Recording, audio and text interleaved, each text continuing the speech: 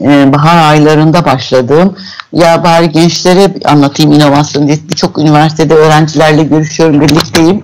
Onlara mesleklerinin nasıl dönüşeceğini anlatıyordum. Bir ücretsiz e, Udemy'de bir eğitim düzenlemiştim. E, bu bir ay öncesine kadar 2000 öğrencim varken e, şimdi 2400 bir ay içerisinde 2400 öğrenci e, ve ben Türkçe konuşuyorum.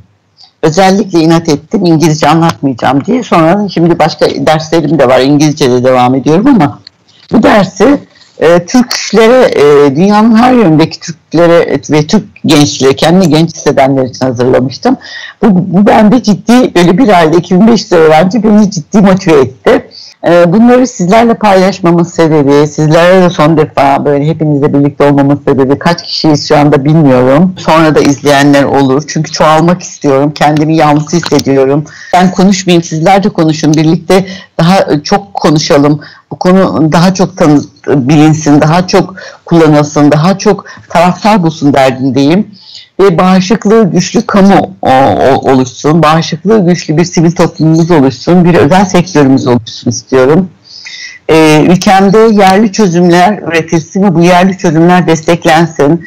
Ee, sadece sabah izlediğim gibi COVID'e yönelik değil, e, inovasyon kültürünün ölçme ve değerlendirmesi, e, bizim kişilik analizlerimiz, aranızda çok e, e sayıda Amerikan testleri, Alman testleri, Alman yazılımları kullananlar var. Bu anlamda biraz taraflıyım. Ülkemde çok iyi yazılımların olduğunu biliyorum. Çok iyi bilim insanlarının, çok iyi tek mühendislerin olduğunu biliyorum. E, bizim ülkemizde üretilen e, bu yerli çözümlerin dünyada e, yer alabileceğine eminim. bunlar için bu fırsatı değerlendirelim istiyorum e, mesleki e, açıdan sadece kapımızın önüne işte İK'da yaptığımız gibi e, bir etiket asarak ARGE müdürlerinin kapısına inovasyon müdürü diyerek bunun olmadığını, olamayacağını mesleki yeterli kurumuna, TÜRKAK'a, TSE'ye, bakanlığa, herkese anlatma derdim bu e, inovasyon profesyonelleri yetiştirelim istiyorum, denetçiler yetiştirelim istiyorum. Standart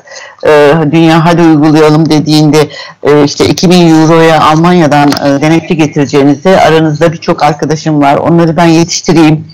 Onlar hani 2000 euro ödemeseniz de 2000 lira ödeyin bari.